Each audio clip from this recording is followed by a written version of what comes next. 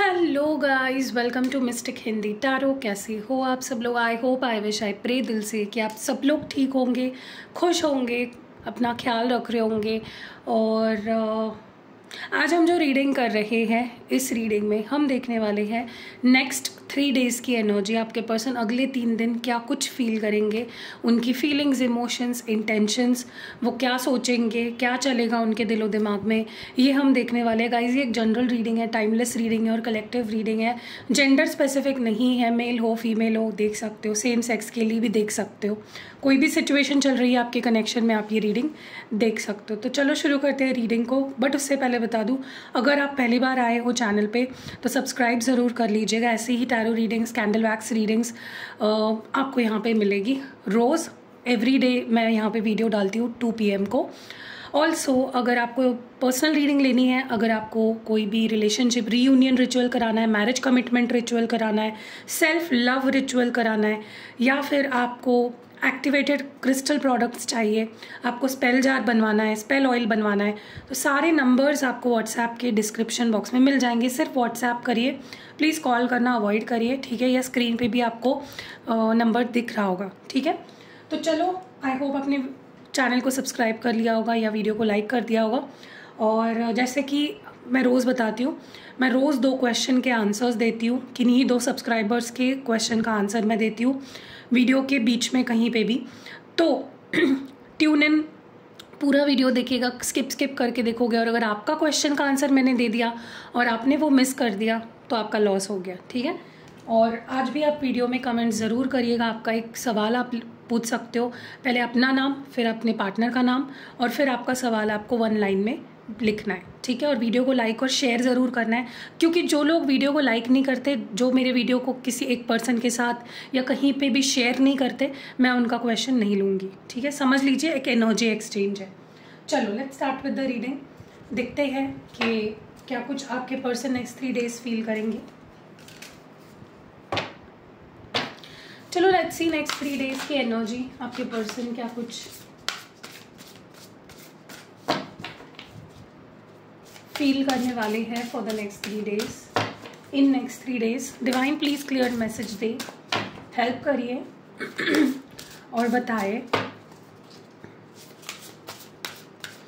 कि next three days आपके person क्या फील करने वाले हैं, क्या सोचने वाले हैं, क्या चलेगा उनके दिलो दिमाग में इस रिश्ते को लेकर और आपको लेकर.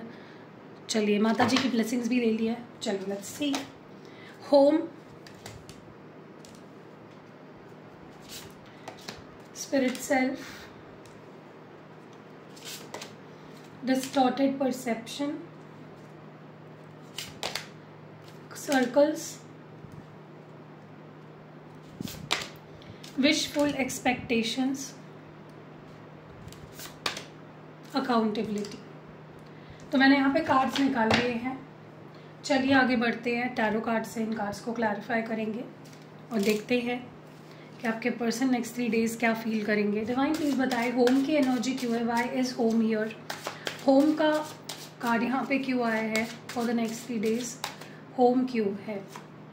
जजमेंट ओके देखिए, मुझे ऐसा लगता है कि आपके पर्सन को नेक्स्ट थ्री डेज़ ऐसा महसूस होगा जैसे आप उनका घर हो, वो आपके साथ यू you नो know, जैसे उन्हें लौटना है आपके पास उनके अंदर से ये उन्हें फील होगा उनको अंदर से ये आवाज़ आएगी उनका दिल कहेगा उनका मन कहेगा कि उन्हें लौटना चाहिए आपके पास उन्हें वापस आपके पास आ जाना चाहिए उन्हें अपना डिसीज़न ले लेना चाहिए। हो सकता है ये पर्सन काफ़ी टाइम से आपको लेकर कोई डिसीज़न पेंडिंग रख रहे हैं कोई भी डिसीज़न नहीं ले रहे थे।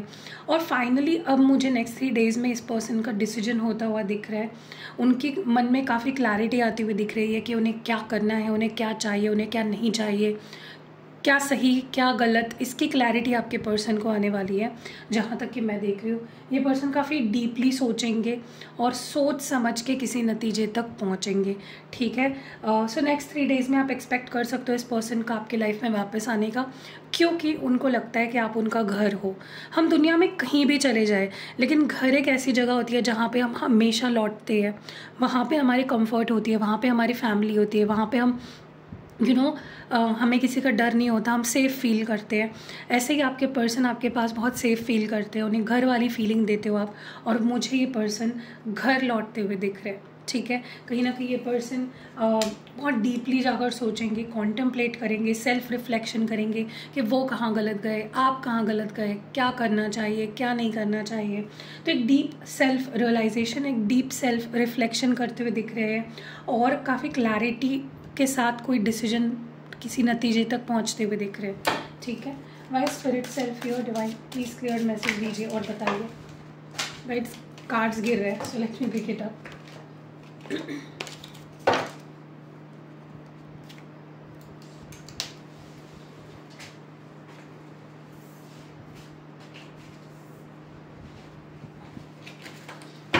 okay. Why is the spirit self your क्यों है स्पिरिट सेल्फ यहाँ पे okay five of swords the wheel of fortune देखिए, कहीं ना कहीं इंसान, वो बोलते हैं ना कि इंसान दुनिया से झूठ बोल सकता है, सबसे झूठ बोल सकता है, लेकिन खुद से झूठ नहीं बोल सकता। तो वो बहुत ही सही चीज़ है क्योंकि कहीं ना कहीं नेक्स्ट थ्री डेज़ आपके पर्सन खुद के आत्मा से झूठ नहीं बोल पाएँगे खुद की सोल से वो झूठ नहीं बोल पाएँगे अगर वो काफ़ी टाइम से आपको ये शो कर रहे थे कि यू you नो know, वो आप में इंटरेस्टेड नहीं है या वो आपसे डील नहीं करना चाहते वो नहीं लौट कर आना चाहते वो नहीं प्यार करते आपसे तो ये वही चीज़ हो गई कि इंसान देखो चेंजेस तब आते हैं ना जब आप रियलिटी को एक्सेप्ट कर लेते हो राइट right? क्योंकि अगर आप रियलिटी को एक्सेप्ट नहीं कर रहे हो, इसका मतलब आप भ्रम में जी रहे हो। आप खुद से झूठ बोल रहे हो, आप लोगों से झूठ बोल रहे हो राइट तो आपके पर्सन कहीं ना कहीं नेक्स्ट थ्री डेज़ में रियलिटी को एक्सेप्ट कर लेंगे कि हाँ भाई सिचुएशन ऐसी है और मुझे इससे डील करना है। ठीक है गलती मेरी यहाँ हुई सामने वाले की गलती यहाँ हुई अब आगे क्या? तो आपके पर्सन कहीं ना कहीं जैसे मैंने बोला self realisation self acceptance self reflection करते हुए दिख रहे हैं। और उसके बाद यू you नो know, कहीं ना कहीं इंसान को पता चल जाता है कि वो खुद से ही झूठ बोल रहे हैं। तो आपके पर्सन को ये रियलाइज़ होगा कि वो खुद से झूठ बोल रहे थे काफ़ी टाइम से कि वो आपसे प्यार नहीं करते वो इस रिश्ते को नहीं चाहते। और जब ये वो एक्सेप्ट कर लेंगे तो यूनिवर्स भी आप दोनों को एक करने में अपनी पूरी ताकत लगा देगा। तो आप देखोगे कहीं ना कहीं नेक्स्ट थ्री डेज़ में आपको आ, ऐसा फील होना शुरू हो जाएगा जैसे चीज़ें आपके हक में होना शुरू हो गई है।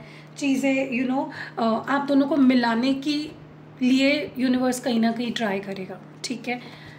सो या डिस्टॉर्टेड परसेप्शन की एनर्जी है why is distorted perception your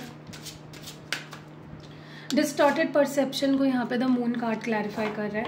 देखिए कई बार क्या होता है ना कि इंसान जब अंदर बहुत गुस्सा लेकर बैठता है रिसेंटमेंट लेकर बैठता है, या बहुत ज़्यादा लड़ता है फीलिंग्स से तो आपके पर्सन काफ़ी टाइम से अपनी फीलिंग से लड़ रहे थे।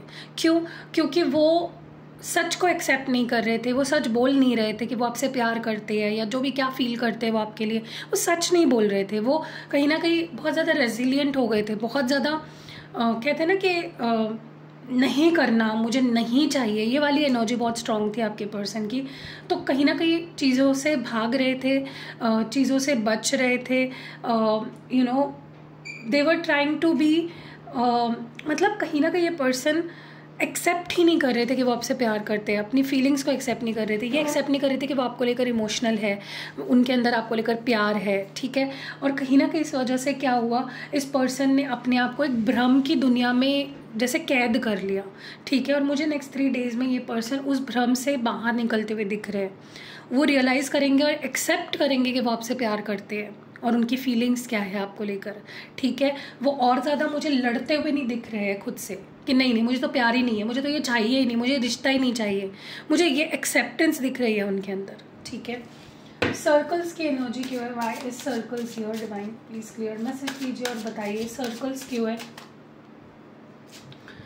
स्ट्रेंथ कार्ड यस देखो क्या होता है ना, कई बार हिम्मत करनी पड़ती है आपको, जब आप किसी से प्यार करते हो, आपको पता है कि आपको उसको खोना नहीं है तो आप चुप नहीं रह सकते कम लंबे समय तक। आपको एफर्ट्स डालने पड़ते हैं। आपको हिम्मत करके यू you नो know, उस पर्सन से अपनी फीलिंग्स एक्सप्रेस करनी पड़ती है। वही आपके पर्सन मुझे नेक्स्ट थ्री डेज़ में करते हुए दिख रहे हैं। हिम्मत बना के यू नो ये आपके पास आएँगे। ठीक है? अपनी फीलिंग्स एक्सप्रेस करेंगे। अगर उन्हें माफ़ी मांगनी है तो माफ़ी मांगेंगे। They will apologise to you if needed ठीक है? uh, क्योंकि उनको पता है कि उन्हें आप चाहिए हो, उनके दिल को पता है कि उन्हें आप चाहिए हो। बस वो एक्शन नहीं ले रहे हैं काफ़ी टाइम से। टाल रहे हैं एक्शन लेने को। तो मुझे यही चीज़ होती हुई दिख रही है जहाँ पे ये पर्सन एक्सेप्ट करेंगे और आगे आकर एक्शन लेंगे सॉरी बोलेंगे या अपनी फीलिंग्स एक्सप्रेस करेंगे। क्योंकि अब उन्हें आपकी प्रेजेंस चाहिए। Now they are missing your presence ठीक है? विशफुल एक्सपेक्टेशंस की एनर्जी क्यों है यहाँ पे? Why is wishful expectations your the lovers और बॉटम ऑफ़ द डेक में है eight of wands oh my god guys आप मैनिफेस्ट कर रहे हो क्या इस पर्सन को? अगर ऐसा है तो कमेंट्स में ज़रूर बताना क्योंकि मुझे बहुत क्लियरली ऐसा दिख रहा है। कुछ लोग यहाँ पे अपने पार्टनर को लिटरली मैनिफेस्ट कर रहे हो। आप एक रोमांटिक यूनियन रीयूनियन को मैनिफेस्ट कर रहे हो। uh, देखो क्या है ना कि आपके person in the next three days मुझे uh, अपनी एक्सपेक्टेशंस भी आपके सामने रखते हुए दिख रहे हैं, या आपके एक्सपेक्टेशंस पे खरे उतरते दिख रहे हैं, ठीक है? वो आपसे बहुत प्यार करते हैं गाइस बहुत romantically you know they are involve in you बहुत ज़्यादा ये पर्सन आपसे प्यार करता है. तो ये पर्सन डेफिनेटली फॉर श्योर ये पर्सन यू नो आपके पास आने वाला है, आपको आपसे कम्युनिकेट कर सकता है और रीयूनियन में आने वाला है ओके तो ये तो आपकी एक्सपेक्टेशन थी ना इस पर्सन से कि ये पर्सन मेरे पास वापस आ जाए, मुझसे बात करे मेरा और इसका रीयूनियन हो जाए हैप्पी रीयूनियन वही मुझे नेक्स्ट थ्री डेज़ में होता हुआ दिख रहा है। तो आपकी एक्सपेक्टेशंस आपकी विशेज़ आपकी ड्रीम्स आपकी मैनिफेस्टेशन पूरी हो रही है। अकाउंटेबिलिटी की एनर्जी क्यों है? Why is accountability here chariot and page of pentacles देखिए, ये पर्सन डेफिनेटली जानते हैं, मानते भी हैं इस चीज़ को कि गलती, जो भी उन्होंने आज तक गलती करी है ना, वो उस चीज़ को मानते हुए दिख रहे हैं एक्सेप्ट करते हुए दिख रहे हैं कि ओके ये ये चीज़ मेरी गलत हुई, मैं यहाँ यहाँ गलत गया, मैंने ये ये गलत करा। ठीक है? और जब आप गलती एक्सेप्ट कर लेती हो, मैंने बोला ना, किसी भी चीज़ में आपको आगे बढ़ना है ना एक्सेप्ट करो। ठीक है? अगर आप कोई भी काम कर रहे हो, आपने रियलिटी को एक्सेप्ट कर लिया ना, आप वही आधी जंग जीत जाते हो। तो कहीं ना कहीं आपके पर्सन एक्सेप्ट करते हुए मुझे दिख रहे हैं कि, ओके, यहाँ मेरी गलती हुई, मैंने ये गलत किया। और जिसके बाद आप दोनों के बीच में चीज़ें फटाफट आगे बढ़ना शुरू हो जाएगी। जो एक ऑब्स्टैकल आ गया था ना, वो क्यों आया? क्योंकि आपके पर्सन अपनी गलतियाँ ही एक्सेप्ट नहीं कर रहे थे। वो क्रेडिबिलिटी ले ही नहीं रहे थे जो उन्होंने अच्छा किया और अकाउंटेबिलिटी उस चीज़ की नहीं ले रहे थे जो उन्होंने गलत किया आज तक। तो वो मुझे होता हुआ दिख रहा है, जिसके बाद आप दोनों के बीच में मूवमेंट क्विक मूवमेंट होना शुरू हो जाएगी। चीज़ें आगे बढ़ना शुरू हो जाएगी in the next three days और देखो, मैं ये नहीं बोल रही हूँ कि आपके पर्सन बहुत कोई बड़ा एकदम ऑफ़र लेकर नेक्स्ट थ्री डेज़ में आ जाएँगे, शादी कर लेंगे आपसे, ऐसी बात नहीं कर रही हूँ मैं। बट कुछ बहुत ही छोटा ऑफ़र लेकिन बहुत ही मीनिंगफुल ऑफ़र क्योंकि उनको बस चाहिए एक अपॉर्चुनिटी उनको बस चाहिए कि तुम मुझे एक मौका दो, मैं अपने आप को प्रूव करता हूँ। ठीक है? और अगर आप उनको वो मौका दे देते हो बहुत हद तक चीज़ें यू नो चेंज होने वाली है। लेट्स सी कि ये पर्सन नेक्स्ट थ्री डेज़ क्या फील करेंगे आपके लिए। डिवाइन प्लीज़ क्लियर मैसेज दे और बताइए नेक्स्ट थ्री डेज़ की फीलिंग क्या होने वाली है आपके पार्टनर की? Reunion I told you claim this energy guys claim this energy तुरंत रीयूनियन ये आपको लिखना है कमेंट सेक्शन में।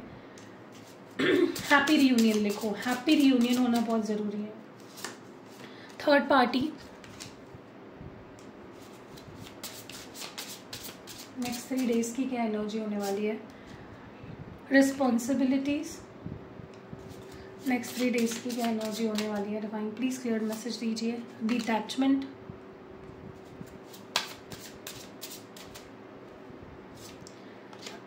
चेजर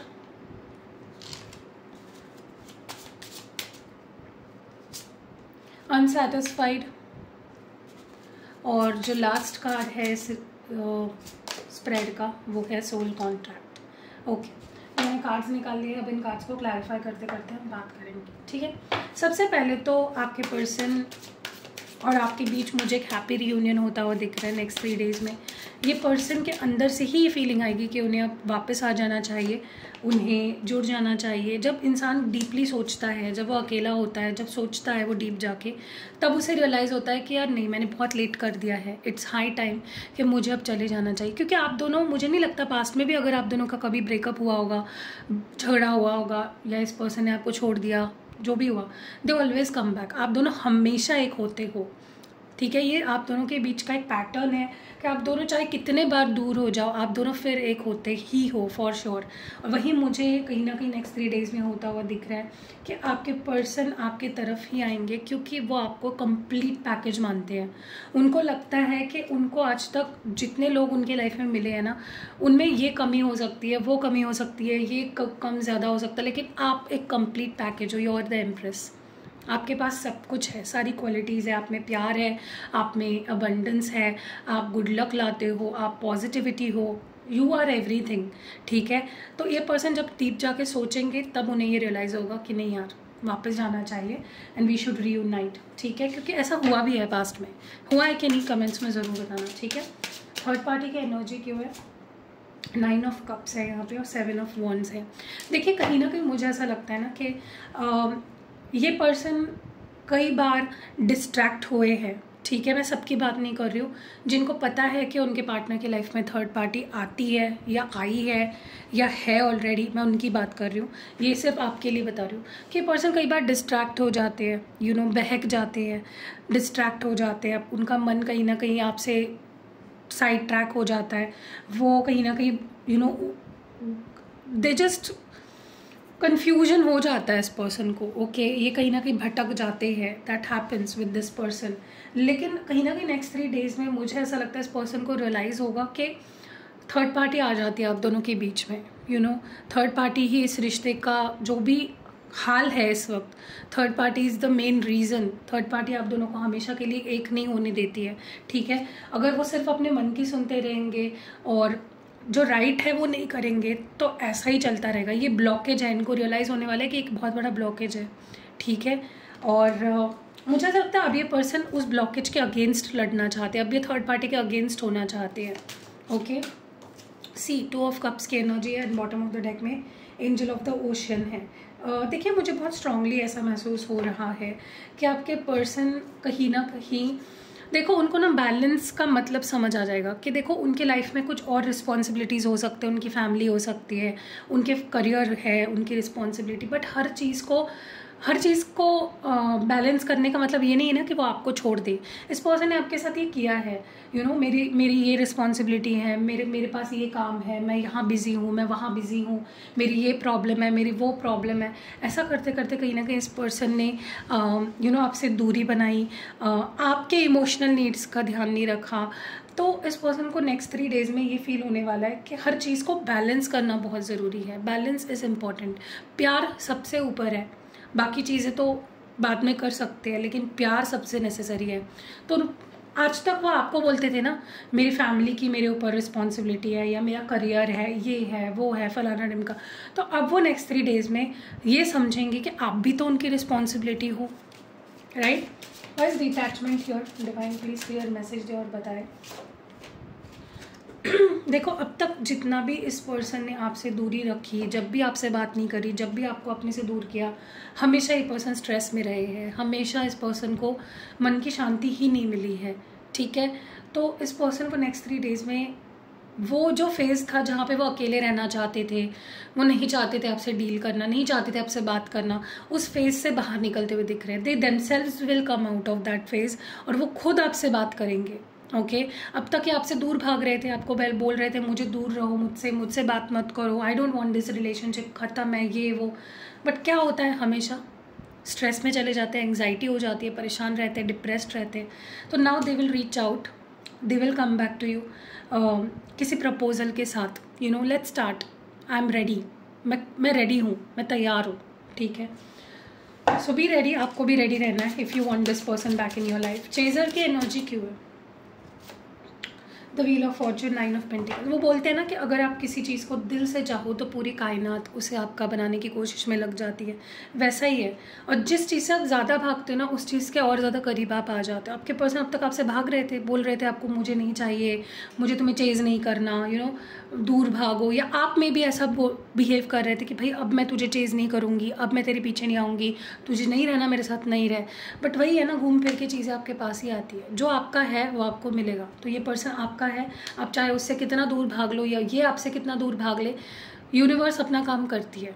अगर आपको उस पर्सन से डील करना है, अगर आपके ज़िंदगी के किताब में लिखा ही है कि पर्सन का आपकी लाइफ में आना ही है, आपकी स्टोरी में अभी भी इनका पार्ट है तो आएँगे ही आपके पास, चाहे आप कितना दूर भाग लो उनसे, ठीक है? तो कहीं ना कहीं डिवाइन इंटरवे इंटरवीन होने वाली है यहाँ पे, और डिवाइन ही हेल्प करेगा आप दोनों को, एक दूसरे के पास आने के लिए चाहे आप दोनों एक दूसरे से कितना ही दूर भाग रहे हो। और आ, मुझे ऐसा लगता है आपको उसके लिए ग्रैटिट्यूड शो करना है आपको डिवाइन को थैंक यू बोलना है। ठीक है? चाहे देखो क्या होता है ना कि हम लाइफ में एक बहुत बड़ी चीज़ भूल जाते हैं ग्रैटिट्यूड जो है उसके लिए हम कभी थैंकफुल ही नहीं होते हैं। कभी आपने कभी रुक के कभी चीज़ों के लिए थैंकफुल फील किया है थैंक यू बोला है डिवाइन को नहीं। तो वो करो आपके लाइफ में सब कुछ अच्छा हो जाएगा। ठीक है? अनसेटिस्फाइड क्यों है?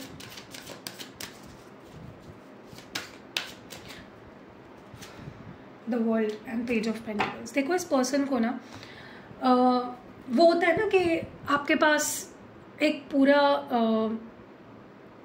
एक पिटारा है खजाने का, लेकिन फिर भी आपका ध्यान उस एक चमकने वाली चीज़ पे जाएगा जो पिटारे से बाहर पड़ी हुई है राइट आपके पास बहुत सारा है, लेकिन बहुत सारी चमक, चमकती हुई यू नो चीज़ें हैं आपके पास, बहुत सारा सोना, चांदी बहुत सारे हीरे जवाहरात आपके पास है लेकिन आपका ध्यान कहाँ जाएगा? वहाँ पे पड़ी हुई एक चमकती चीज़ पे राइट आप कभी सेटिस्फाइड ही नहीं होते आपके पर्सन की यही प्रॉब्लम रही है कि वो you you know know, um, किसी भी चीज़ से कभी सेटिस्फाइड नहीं रहे हैं ठीक है? आपने उनको कितना प्यार दिया आपने उनके साथ कितना पेशेंस रखा यू you नो know, आप दोनों हमेशा एक हो जाते थे आपने हमेशा इस पर्सन को माफ़ किया um, बट इस पर्सन ने, आपने इस पर्सन को, मुझे लगता है, बहुत चांसेस दिए हैं, बहुत अपॉर्चुनिटीज़ दी है अपने आप को प्रूव करने की। आपने बोला भी होगा कि इस बार प्लीज़ गलती मत करना, इस बार प्लीज़ छोड़ के मत जाना, इस बार प्लीज़ चीट मत करना, इस बार प्लीज़ ये मत करना प्लीज़ कमिटमेंट दो, ये करो। मतलब हर बार आपने इस पर्सन को मौका दिया। बट इस पर्सन को आपके मौके की कोई भी वैल्यू नहीं थी। बट अब कहीं ना कहीं ये पर्सन को एक यूनिवर्स एक मौका देगा कि वो आपके पास आए, इस रिश्ते की एक नई शुरुआत करे और वो इस अपॉर्चुनिटी को अच्छे से अपनाए। ठीक है? अगर वो ऐसे ही रहेंगे, अगर ये ऐसे ही रहेंगे तो मुझे लगता है फिर यूनिवर्स इनको दूर करेगा आपसे ताकि इनको समझे कि ये क्या खो रहे हैं, क्या गवा रहे हैं। ठीक है? कभी कभी आपसे कोई पर्सन दूर जाता है ना तो ये डिवाइन प्लान होता है। डिवाइन चाहता है वो आपसे दूर रहे, उनको ठोकर लगे, वो रोए, उनको पता चले आपकी क्या वैल्यू है। ठीक है? और लास्ट कार्ड को क्लैरिफाई करने से पहले आज हम question of the day question of the day ले लेते हैं। देखते हैं कि कौन है वो दो लकी सब्सक्राइबर्स कल जिन्होंने वीडियो में कमेंट किया था प्रॉपरली जिन्होंने वीडियो को लाइक किया है, जिन्होंने वीडियो को शेयर किया है, देखते हैं कि उनके सवाल के जवाब मैं दे देती हूँ पहले और फिर हम लास्ट कार्ड का आंसर देंगे ठीक है? सो so, हेलो uh, जो फ़र्स्ट क्वेश्चन मैं पिक कर रही हूँ आज के लिए वो है आपको स्क्रीन पे दिखेगा अभी अलका सगोत्रा का है। अलका ने पूछा है कि क्या मुकल और मेरा रिश्ता रिश्ते का कोई पॉजिटिव फ्यूचर है? ठीक है? तो अलका थैंक यू आप कम आपने कमेंट किया, आपने मेरे वीडियो को लाइक किया, आपने मेरी वीडियो को शेयर किया, ठीक है? और चलिए आपके सवाल का जवाब देती हूँ मैं। क्या मुकुल के साथ जो रिश्ता है आपका, उसका कोई पॉजिटिव फ्यूचर है? क्या एक्सपेक्ट कर सकते हो आप? चलिए देखते हैं। गाइज़ अगर आप भी चाहते हो आपके सवाल का मैं जवाब दूँ तो वीडियो को लाइक करो शेयर करो और अपना कमेंट डालो, ठीक है? फॉर्मेट जैसे अभी स्क्रीन पे आपको दिख रहा है, वैसे ही रखना है, ठीक है? चलो let's see Alka and Mukul. Nine of pentacles the magician strength card and bottom of the deck में एम्प्रेस और नाइन ऑफ़ कप्स देखिए, सबसे पहले तो मैं आपको बता दूँ अलका जी, मुकुल आपसे बहुत प्यार करते हैं, उनको आप बहुत ज़्यादा पसंद हो, बहुत अट्रैक्शन फील करते हैं। ऐसा भी हो सकता है कि आप उनसे बड़े हो उम्र में, और अगर नहीं हो तो मेच्योरिटी वाइज वो आपको अपने से ज़्यादा देखते हैं। उनको लगता है आप बहुत समझदार हो, आप बहुत सॉर्टेड हो, आप कंप्लीट पैकेज हो उनको लगता है। uh, वो आपको डेफिनेटली चाहत तो उनकी है आपको अपनी वाइफ बनाने की। वो आप में वो सारी क्वालिटीज़ देखते हैं जो वो अपनी वाइफ में देखना चाहते हैं। But at the same time मुझे ऐसा लगता है कि पॉसिबिलिटीज़ बहुत स्ट्रॉन्ग है आपके रिश्ते का। जो आउटकम है वो या फ्यूचर जो है वो पॉजिटिव होने का। क्योंकि उतना ज़्यादा वो आपको पसंद करते हैं और उनकी नज़रों में आपके डेफिनेटली बहुत वैल्यू है।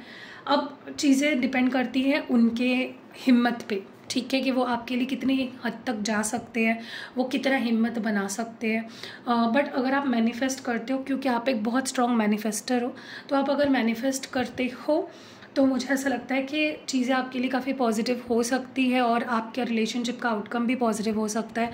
जो आप, जो भी आप चाहते हो, इस रिश्ते का जो फ्यूचर होना चाहिए, चाहे चाहे फिर वो शादी हो, चाहे जो भी हो, आप उसको मैनिफेस्ट करो, मन में डाउट मत आने दो। और कहीं ना कहीं आपको यूनिवर्स एक और चीज़ पे गाइडेंस देना चाहता है कि आपके अंदर बहुत पोटेंशियल है अलका जी तो अपने करियर पे और अपनी ग्रोथ पे भी ध्यान दो, ठीक है? क्योंकि आपके अंदर बहुत पोटेंशियल है, आप बहुत आगे जा सकते हो। आपने जो ड्रीम्स देखे हैं ना अपने करियर को लेकर, वो आप पूरे कर सकते हो। अगर आप दिल से अपनी चीज़ों को करते हो और पूरी कॉन्फिडेंस के साथ करते हो, और डेफिनेटली मुझे लग रहा है कि पॉजिटिव आउटकम है फ्यूचर है आपके रिश्ते का। So thank you so hello जो सेकंड क्वेश्चन मैं आज ले रही हूँ, वो राखी का है, Rakhi one two one eight जिनकी आईडी है। चलिए देखते हैं, उन्होंने क्वेश्चन पूछा है कि आप जानना चाहते हो रवि के साथ शादी के चांसेस है या नहीं? क्योंकि उनका रिश्ता कहीं और फिक्स हो गया है। चलिए, राखी जी देखते हैं। थैंक यू आपने वीडियो को लाइक किया और शेयर किया और आपने कमेंट किया। चलिए, आपके लिए देखते हैं कि क्या रवि के साथ आपके रिश्ता लाइक शादी होने के कोई चांसेस है या नहीं। राखी और रवि। ओके तो यहाँ पे है eight of wands star card knight of pentacles और बॉटम ऑफ़ द डेक में है टू ऑफ़ पेंटिकल्स और द लवर्स देखिए, सबसे पहले तो राखी जी, चाहे आप दोनों के बीच में भी क्या सिचुएशन हो, लेकिन आपके पर्सन आपसे बहुत प्यार करते हैं और वो भी चाहते हैं। ऐसा नहीं है कि उन्होंने मतलब वो नहीं चाहते, वो भी चाहते हैं आपको काफ़ी ज़्यादा और वो शादी भी करना चाहते हैं क्योंकि वो आपसे बहुत प्यार करते हैं। लेकिन कहीं ना कहीं मुझे ऐसा लगता है कि अगर ये पर्सन अपने फैमिली के अगेंस्ट जा सकते हैं तो ही ये रिश्ता आगे बढ़ सकता है, जिसके चांसेस मुझे थोड़े से कम दिख रहे हैं।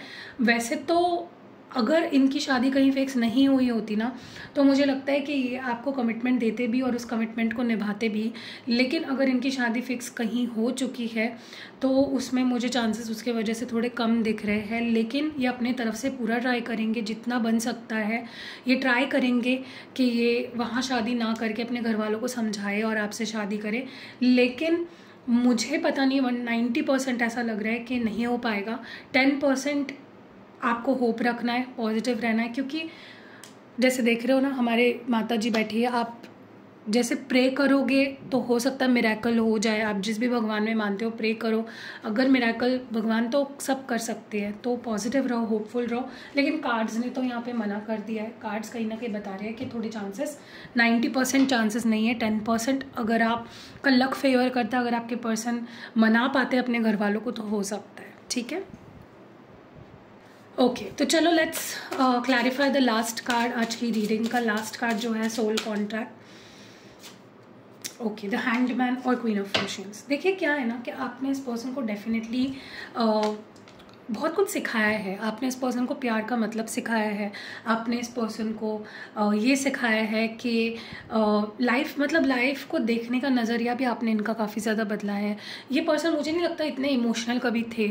इनको इतना ज़्यादा कनेक्शन कभी किसी के साथ फील होता था, लेकिन आपने वो चीज़ इनको फील करवाई है।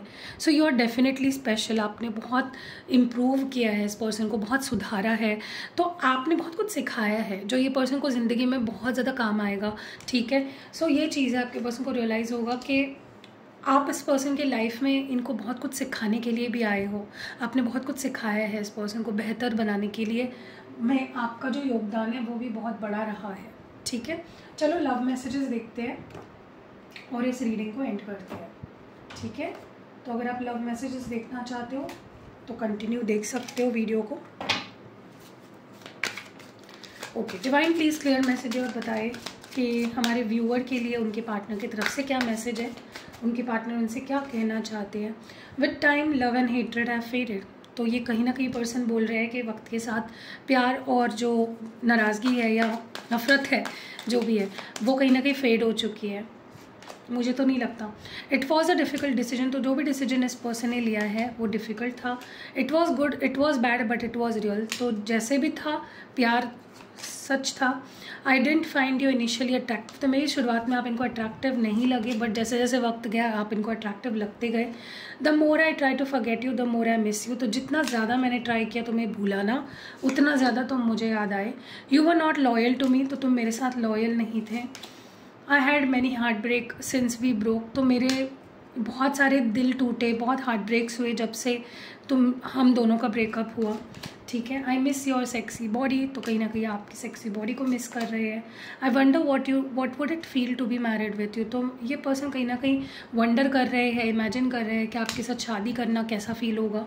लास्ट मैसेज है you need to move on and forget me तो ये पर्सन आपको बोल रहा है कि तुम मुझे बुला दो और आगे बढ़ जाओ। बट मुझे नहीं लगता रीडिंग में तो ऐसी कोई एनर्जी निकल के नहीं आई है। And I am hopelessly in love with you तो मैं बहुत ज़्यादा होपलेसली तुम्हारे प्यार में हूँ। ठीक है? कैसी लगी रीडिंग कमेंट्स में ज़रूर बताना। एंड कॉन्ग्रेचुलेशन जिनके दो सव, दो लोगों के सवाल के जवाब मैंने दिए। और आप भी अपने सवाल का जवाब पा सकते हो। अगर आप इस वीडियो के नीचे अपना क्वेश्चन भेजते हो इस फॉर्मेट में जो उन्होंने जैसे भेजा था। और वीडियो को लाइक करो शेयर करो, ये क्राइटेरिया है। और इंस्टाग्राम पे भी मुझे फॉलो कर लो। इंस्टाग्राम की लिंक आपको डिस्क्रिप्शन बॉक्स में मिल जाएगी या फिर फ़र्स्ट कमेंट में मिल जाएगी इस वीडियो के। And yeah see you next video bye